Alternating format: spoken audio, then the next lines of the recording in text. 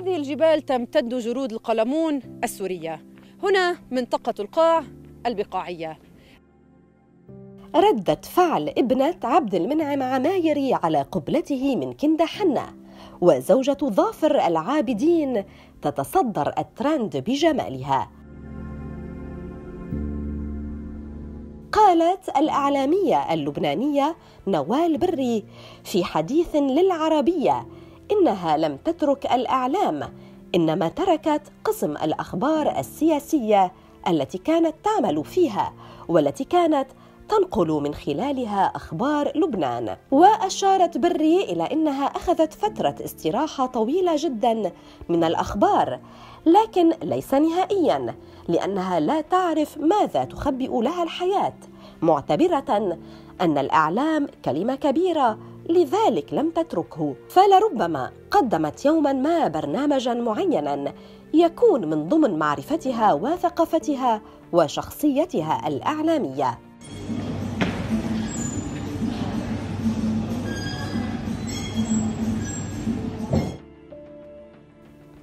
وتابعت انها في حال عادت وأطلت في الإعلام فسيكون من خلال محطة عربية وليست محلية.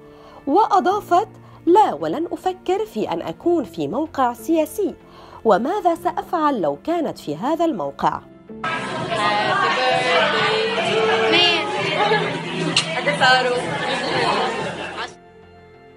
كما قالت إنها لن تتعاطى ابدا في السياسة في لبنان بوجود هذه الطبقة الحاكمة لأنهم لا يشبهوننا ولا نشبههم. وبعد عملي لفترة طويلة في الأخبار التي كانت كل حياتي عزلت نفسي عنها لأنني فعلا وللأسف أصبت بالإحباط.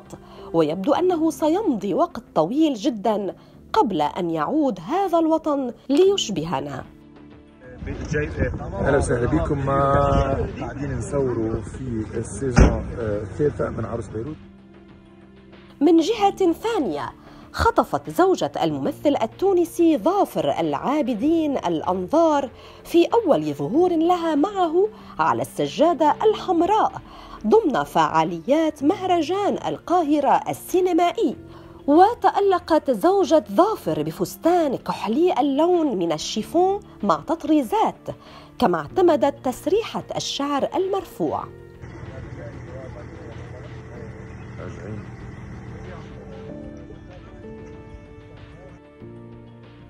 وتدعى زوجة ظافر جوان وهي بريطانية ولا تحب الأضواء على الرغم من أنها كانت ممثلة واعتزلت لتهتم بزوجها وابنتهما.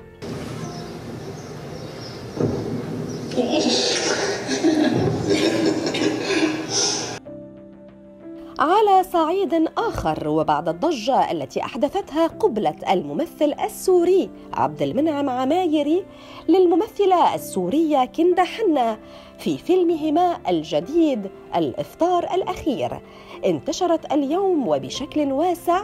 صورة لابنته من الممثلة أمل عرفة بدت فيها شابة كبيرة. لما تمرق قدامه وشفاف تحكي؟ ولفتت الشابة التي بدت جميلة جدا في الصورة الأنظار إليها إذ أعرب المتابعون عن إعجابهم بها كما اعتبروا أنها باتت تشبه أمها الممثلة السورية كثيرا. لما تمرق قدام